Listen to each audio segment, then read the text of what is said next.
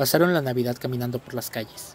Partieron desde Tapachula, Chiapas, donde llevan meses, y se dirigen a la frontera con Estados Unidos. Hay niños, hay mujeres que venimos enllagadas de nuestros pies, deshidratadas. Pues es duro, es duro para buscar el sueño americano. Y pues lo que buscamos nosotros es que el gobierno nos dé por lo menos el permiso para cruzar. Son miles de personas, incluyendo cientos de niños. Afirman no tener dinero para pagar visas ni traficantes de personas, conocidos como coyotes o polleros. No llevo ni un peso, ni un peso. Y nadie me ha regalado un bocado de comida, pero aquí voy. Aquí voy con ganas. Y no me voy a desmayar hasta llegar a fronteras.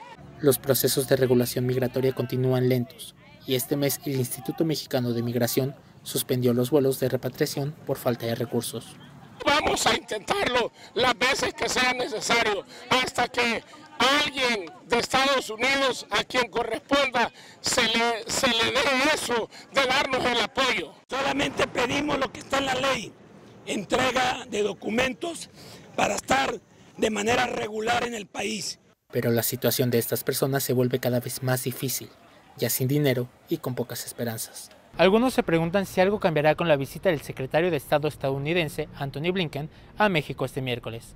Javier Gar, Voz de América, Ciudad de México.